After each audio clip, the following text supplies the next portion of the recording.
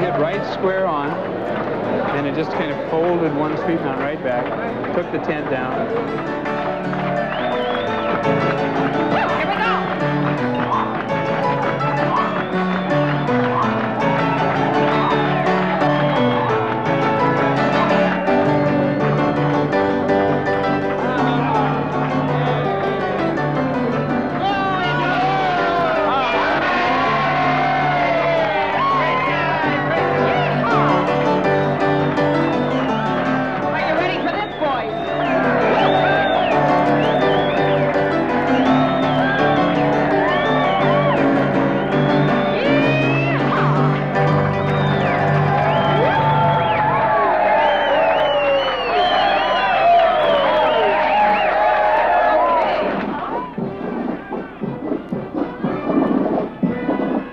Year, the anniversary of the discovery of gold on the Klondike is the occasion for Dawson's biggest celebration. Half the town parades, the other half cheers.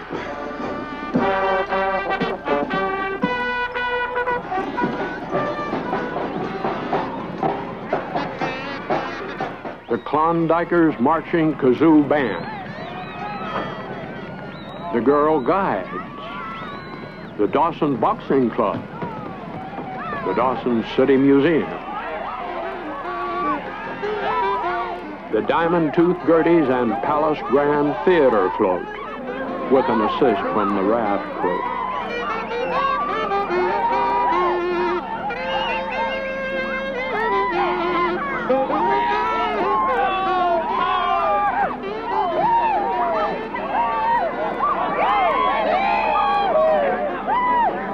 Here's the final pull of the day to determine the men's tug of war champion for $50 first prize and the trophy by the Klondike River Lodge. With the help of two friends, the raft crew have survived a half dozen tug of war eliminations. So I'd say and I'm sure not going to lose in front of all these people. I'll tell you that right now. I don't know if I can have to drag all you guys do, but I ain't losing. Are you ready, Black Mike's in? Defending champions? Ready, challengers, the smoke jumpers? Titan, pull!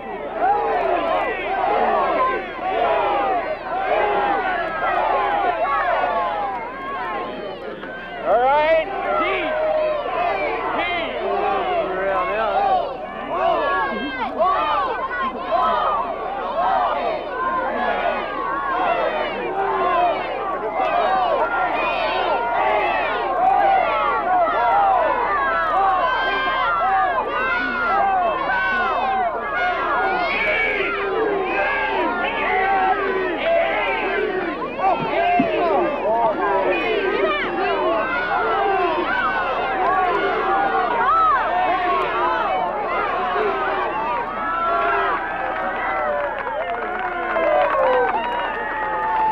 Smoke jumpers win. It's a cartilage. I need a doctor, I think, I need, I'm sure I'm going to need to go to the hospital. It's a cartilage. I dislocated my knee. Poor guys. Yeah, same to you. Oh, man. Nice boy. X-rays of Paul's leg will show nothing is broken, but a ligament is torn. All right, take me away. Take me away. This is the best part. Need to have a lady on either side.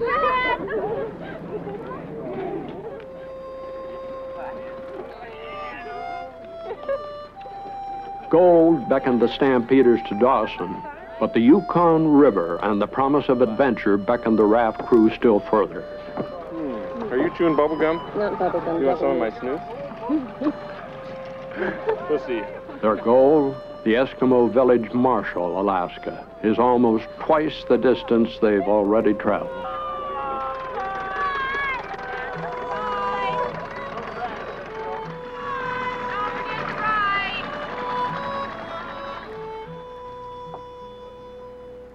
Dear Robin, at last we're recovering from the high life in Dawson. Good food, lazy days, slow thoughts, and plenty of conversation when we want it. We're already beginning to wonder when we will lose the warmth of summer. So we make as much of it as we can. I'll do the dishes. Ten days ago, we saw the swath cut through the trees to mark the border into Alaska.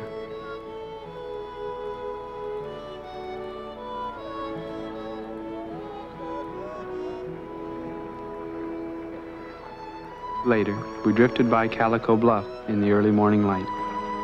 Take a look at this.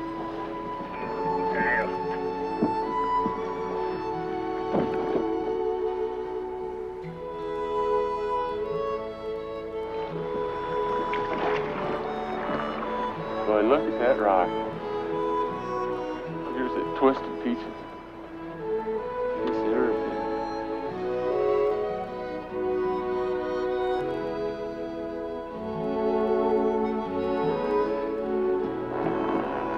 Today, we noticed signs of someone living in an old roadhouse.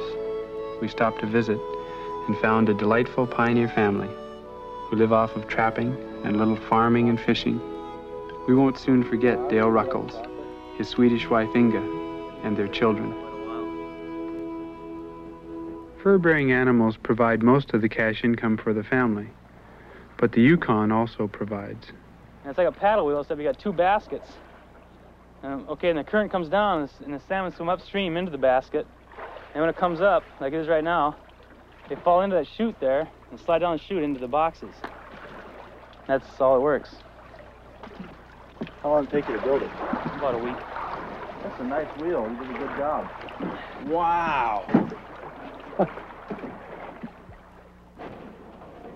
hey, the big, there's big ones are on. There might be some in the net. What do you grow here? Cabbage, these kind, and that kind. Turnip, broccoli, spinach. How'd you learn to do all this? It's not that much to it. Just plant the seeds. The Ruckles buy flour, salt, sugar, and spices from town once or twice a year. The garden provides vegetables. For meat, they have wild geese and ducks, fish, and moose. Why do you want to live out here? Why not? Well, yeah, good, uh, good. You know, just out of curiosity, you know, everybody has a reason why they would want to come out here, but why do you, you know, why do you choose to come all the way to here to live out here like this? There's got to be some reason. Reason? Yeah. All you have to do is go to go to town and you see why. Get away from all the traffic, and people's problems. Get away from that. Do you miss what's going on in the world? What's going on in the world? I mean, what does the average person do? They go to the supermarket and they go to I know a lot of people read newspapers all the time. Oh, I, I listen to the radio. I read books. Yeah, I had in my bag. So what can you miss is Do you get bored? not very often. Do you ever get lonely? No. No. No. I can get more lonely in town than you can out here. A lot of lonely people right in the middle of a big city. Fifty miles downriver from the Ruckles family cabin, the land flattens. In late August, the moon makes a low circuit of the sky. Often fog hangs above the surface of the water, and the raft seems suspended in liquid space. Nights are longer now as the sun slides early into the horizon. At night, sometimes there are displays of northern lights, those luminous apparitions of the Arctic sky that have charmed and mystified mankind for thousands of years.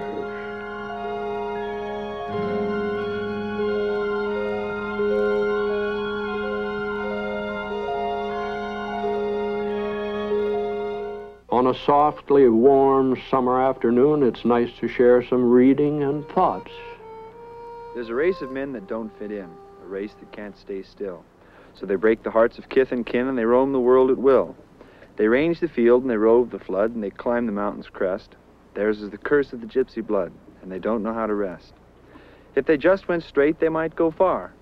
They are strong and brave and true, but they're always tired of the things that are, and they want the strange and new.